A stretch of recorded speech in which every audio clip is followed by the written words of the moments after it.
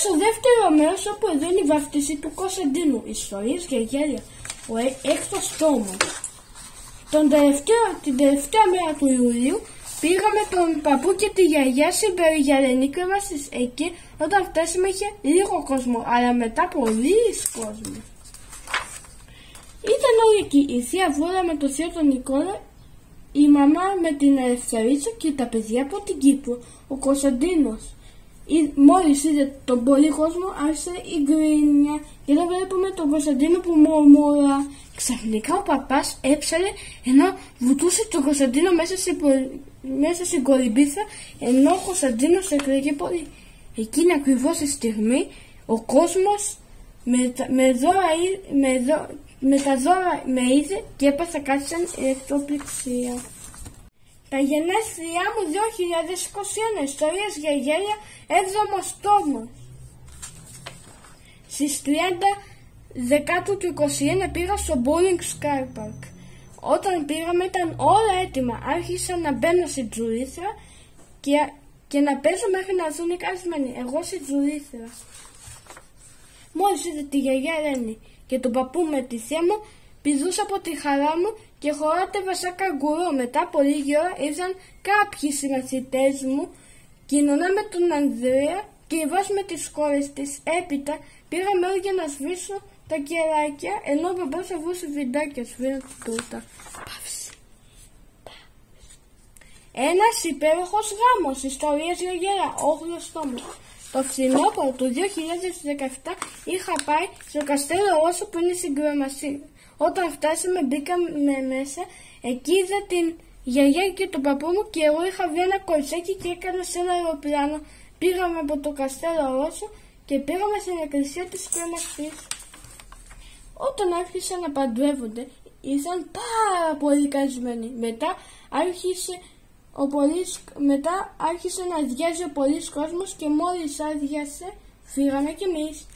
Έπειτα πήγα μια βόλτα στις φάνες και εγώ είχα κοιμηθεί στο αυτοκίνητο.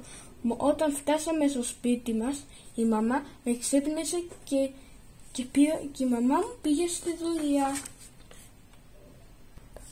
Στο Μιλού με νονά ιστορίες για γέλια. Ένα το στόμα Λοιπόν, εσείς που διαβάζετε αυτό το βιβλίο, νομίζετε ότι θα πω η Ζήνωνα και μας πει όχι, δεν είναι έτσι. Εγώ και η μαμά μου μπήκαμε μέσα σε έναν μεγάλο σωλήνα και εκεί είδαμε μια ταμπέλα που έγραφε προς Μιλού. Περνούσαμε και περνούσαμε ώσπου είδε ένα φως και βγήκαμε από ένα ψυγείο και μπροστά μου είδε την ονά με τον Ανδρέα. Η μαμά πήγε με την ονά να πιούνε καφέ ενώ εγώ πήγα με τον Ανδρέα στον παιδόκπου. Μετά μπήκαμε τον Ανδρέα και παίζαμε στην τζουρίθρα, έπειτα κατεβήκαμε και βγήκαμε από το χώρο της τζουρίθρας και πήγαμε έξω στο θεόρατο φουσκωτό. Μπή, μπήκαμε και πάλι μέσα και είχα χάσει τον Ανδρέα αλλά κατέβηκα και τον από τη, από τη, κατέβηκα από την τζουρίθρα και το ξαναβρήκα. Σε λίγη ώρα βγήκαμε έξω και, παίζαμε, και, παίζαμε, και βγήκαμε έξω πολύ ανέμερα ενώ για λίγο χόρεψε τον πιγκούνο φούσκα από το Happy Feet. Ύστερα πήγα λίγο στην ΕΝΑ και μας, και, και μας είπε αν έχουμε τάσιμο μια καφετιά που κάνει από καφέ μέχρι σοκολάτα. Αποχαιρετήσαμε την ΟΝΑ με τον Ανδρέα και μπήκαμε πάλι στο ψυγείο και μπήκαμε στο σώνα και βγήκαμε στο σπίτι. Συνάντηση με τον άντρα της νονάς. Ιστορίες για γέλια. Δέκατος τόμος.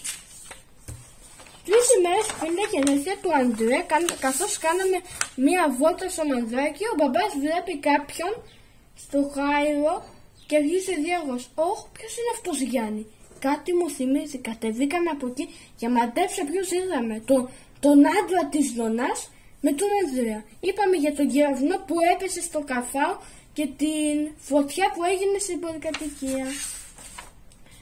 Από εκείνη τη στιγμή χαρήκαμε πολύ και ξέρουμε ότι τα γενέθλια του Ανδρέα θα γίνουν το Σάββατο 5 Φεβρουαρίου του 22 και ήδη του είχαμε πάρει πάρα πολλά υπέροχα δώρα. Λοιπόν, στις νονά 2021, ιστορίες και γέλια 11ο τόμος. Στις 27 Απριλίου του 21, ανυπόμονος τελικά αυτή, με, αυτή η μέρα τελικά έφτασε. Πήγαμε στην Νόνα και μας καλοδέχτηκαν με πολύ ευχαρίστηση και περηφάνεια. Η Νόνα μας έδειξε πως είναι έξω. Έξω υπήρχε ένα τεράστιο παγκάκι που είχε μια κότα από ένα παιχνίδι του Αντρέα. Έπειτα δίπλα υπάρχει ένα barbecue grill του άντρα της που ψήνει με ένα πατάκι. Παραδίπλα υπάρχει ένα τεράστιο τραπέζι με 5-6 καρέκλες και από την πλευρά του δρόμου υπάρχει μέχρι σήμερα 200 φύτα από το ταβάνι μέχρι το πάτωμα.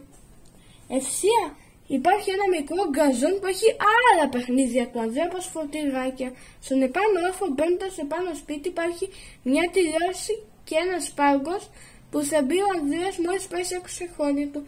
Δίπλα στη σκάλα υπάρχει το αυτοκίνητο της νονάς που είναι και το κάθισμα του Ανδρέα και εδώ μια οθόνη αφής.